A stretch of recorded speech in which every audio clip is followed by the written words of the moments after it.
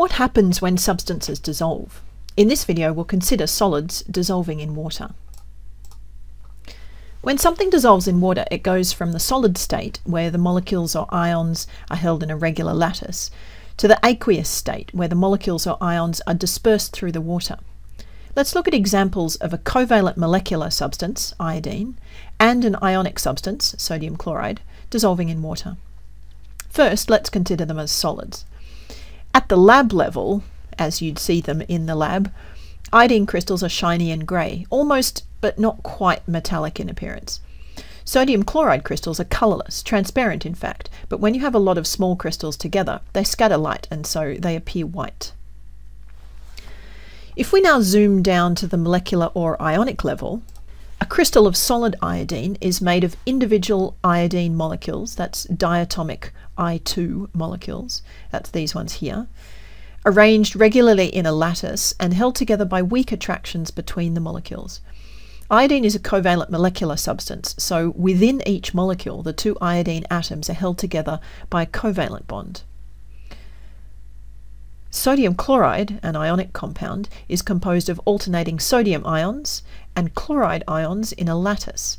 The sodium ions are positive, they're the cations, and the chloride ions are negative, they're the anions. And these oppositely charged ions attract each other. And this means the lattice is strongly held together by ionic bonds between those alternating positive and negative ions. Okay, now let's dissolve them in water. At the lab level, when iodine dissolves in water, it produces a red-brown solution, which used to be used to disinfect cuts or grazes and things like that, also for purifying water.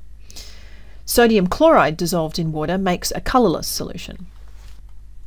At the molecular ionic level again, when a molecular compound like iodine dissolves in water, the individual molecules separate from each other and spread out through the water. Notice that I'm not showing the individual water molecules here, we're just assuming that they're there. Now, this is really important. The covalent bonds within each molecule don't break when they dissolve. Each I2 molecule remains unchanged. Rather, it's the weak attractions which held the molecules together in a crystal that break and allow the molecules to move freely about.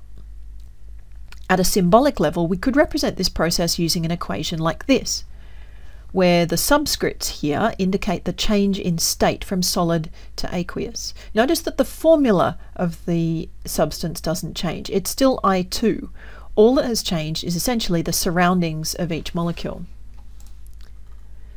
Now, just to remind you of some terminology, here in this situation, the iodine is the solute, that's the solid being dissolved. The water is the solvent, that's the liquid into which the solute dissolves. And the combination of those two is called the solution. That's the mixture of the solute and the solvent. The more iodine is dissolved in a certain volume of water, the higher the concentration of the iodine solution will be. Okay, now let's look at the sodium chloride dissolving on a molecular ionic level.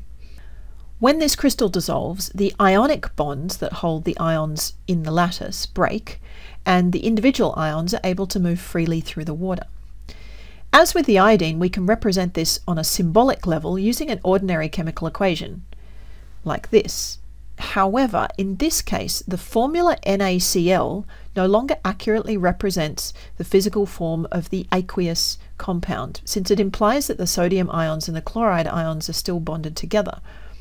Instead, we can see that when they're in the water, when they're dissolved in the water, the ions are now separate from each other. So, instead, we can rewrite the equation, and on the right-hand side, we're going to write the ions separately to show how they really physically are. This is what's called an ionic equation. It's a chemical equation that shows aqueous ions as separate from each other to represent their actual physical state more accurately. Now, why should ionic compounds dissolve into separate ions, but molecular compounds remain as molecules? Well, to understand this, we need to talk about intermolecular forces, and that will come in another video. So hold that thought, and we'll dive into that later. What about something a bit more complex? Let's consider lithium nitrate. At the lab level, lithium nitrate, kind of like sodium chloride, looks like a white powder.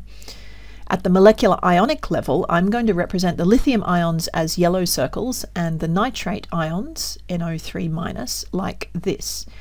If you draw the Lewis structure for a nitrate ion, you'll see that it has a nitrogen atom in the center and three oxygen atoms attached to that. So that's what this little three petaled poppy flower thing represents.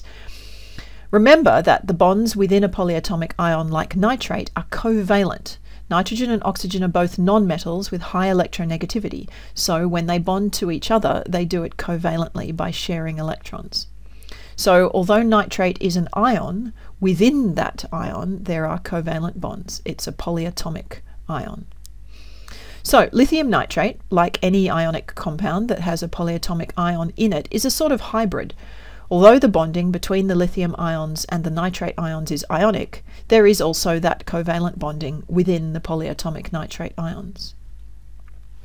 So, in the solid crystal of lithium nitrate, the ions are arranged alternately so that the positive lithium ions have maximum electrostatic attraction with the negative nitrate ions.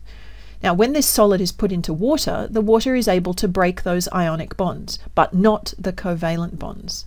So this means the lithium ions and the nitrate ions separate uh, and they spread through the water. However, the nitrate ions don't break up into nitrogen and oxygen atoms. The covalent bonds are not broken by the water.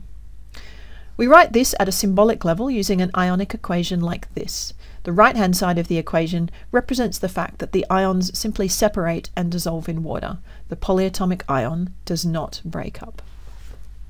Finally, here's a task for you. I've shown you some pictures in this video representing ionic compounds dissolving in water. Sketch yourself a picture of a solution of magnesium chloride, but include in it the water molecules that surround the ions. Try to do it in such a way that it is as physically accurate as possible.